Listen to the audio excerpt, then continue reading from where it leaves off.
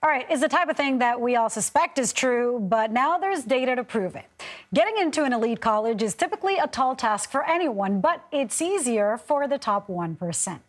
That is according to an analysis from Harvard economist group Opportunity Insights. It showed that the country's elite schools are twice as likely to accept students from families of the top 1% than students from other income groups with similar test scores. We're joined by John Friedman. He's an economist, an economic professor at Brown University. He's also the author of this analysis. I got that word right. Analysis is one of those words that's hard for me in English. Talk to me about what were the factors contributing uh, to more students from high income families being accepted into Ivy League schools.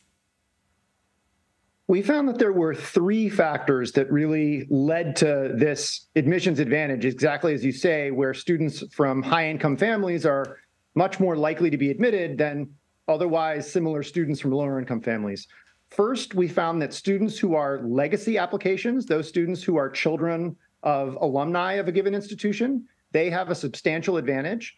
We also found that students who are recruited athletes uh, both have a substantial advantage and disproportionately come from high income families. Yeah.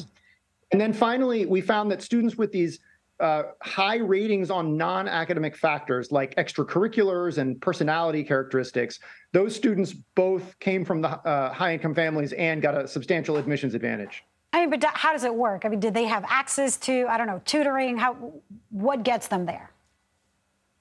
So I think being a legacy student and being a recruited athlete, that's just, uh, you know, something that uh, that's kind of straightforward.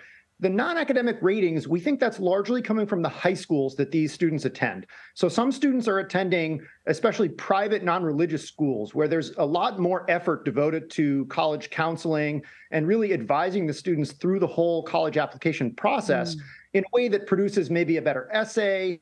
The guidance counselor letters are better. Uh, and that's, you know, even compared with uh, public schools in quite affluent neighborhoods, you see a huge difference in the uh, non academic ratings of students coming from these private schools. I would imagine that students who need to work uh, also don't have the amount of time to dedicate to these extracurricular activities. Does that make sense?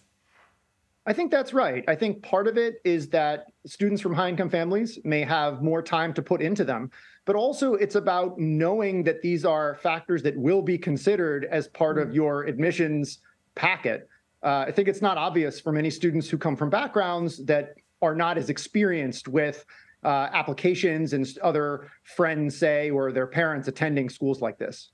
So why are students from middle income families, I guess, the least likely to get accepted into Ivy League schools? Right. We find even relative to low income students, students from middle income families have the lowest admissions rates and the lowest attendance rates.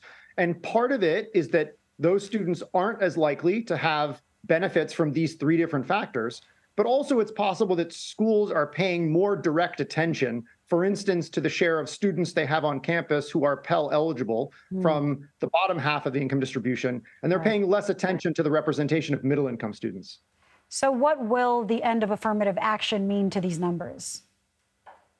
Well, the end of affirmative action is a huge change in the way that admissions offices treat uh, race of students who apply. And race in our context um, all of the preferences for high income students are kind of working independently of race.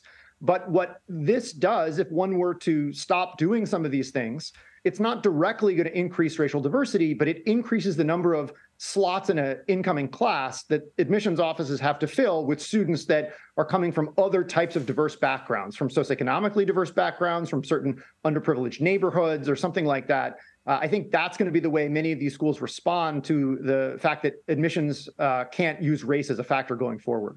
All right. John Friedman at Brown University, thank you so much. Thanks for having me.